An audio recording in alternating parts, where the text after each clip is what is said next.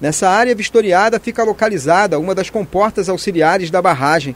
Aqui podem ser observadas pequenas rachaduras no muro, cabos folgados e o ferro do pilar aparecendo nas colunas. Além disso, próximo ao local existe uma ocupação de moradias desordenada. A barragem do Bacanga tem oito comportas. Foi construída na década de 70 para controlar a vazão da água do rio Bacanga.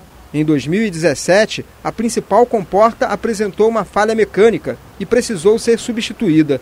Desde então, têm sido realizadas obras de recuperação em toda a barragem. Atualmente nós estamos com a comporta principal funcionando, é, já estamos viabilizando né, a operação de uma segunda comporta e após essas duas comportas estarem é, perfeitamente é, operacionalizadas, a gente parte para a recuperação dessas comportas stop logs que serão colocadas à época da licitação, à época da, da determinação da, da, da, verificação de qual é a empresa vencedora da licitação, é, todo o sistema aqui vai estar operando normalmente, inclusive estas comportas. Essa foi a primeira fiscalização realizada pelo CREA.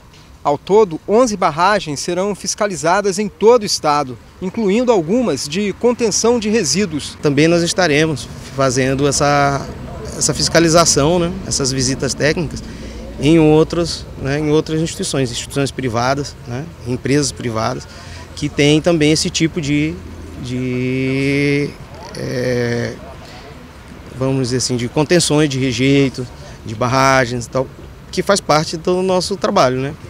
Fiscalizar né, e prevenir acidentes. Em visita, no, vistoriando toda a obra que ainda está em, em execução, a parte de recuperação, é, que tem prazos até daqui a seis meses concluir, mas a parte principal, que é de vazão d'água, está sob controle, já tem uma comporta é, nova que foi substituída a, a, a danificada há, há um tempo atrás.